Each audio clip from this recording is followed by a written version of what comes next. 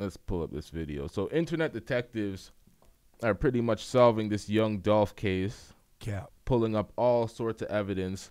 We're seeing people trying to make all sorts of correlations to uh from picture to picture pulling up references from old music videos saying cars match, people match, dances match. Um calling the criminals dumb, seeing the evidence is out in the open. We have this picture right here with the guy with the, the chain is uh, circled. I don't know why that's circled, but these guys are just internet detectives trying to solve the case.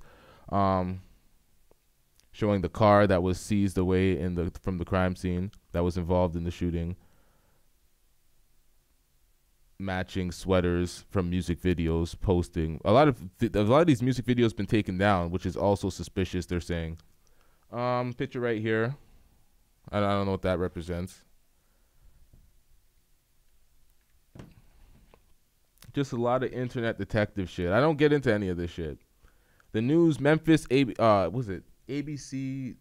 Some ABC News Network made a video debunking a lot of the evidence that the internet uh, detectives are bringing to the forefront, saying it's kind of confusing the case and adding some more mess. They're not really going off of this stuff. Jojo Splatt is somebody that's heavily um, named and mentioned all over the internet right now, all over YouTube. If you even type in his name, you're gonna see Jojo Splatt in relation to some young Dolph case, and they're saying that he was somebody that was part of his crew before. I, I don't know, man. I'm not getting into the, any of this stuff. You just see the internet detectives doing the most right now. I get it. They're they're trying to support young Dolph and find justice, but I'm not getting into any of this shit.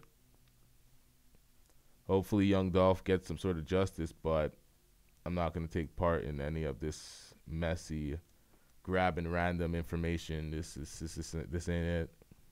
Let the police do their job.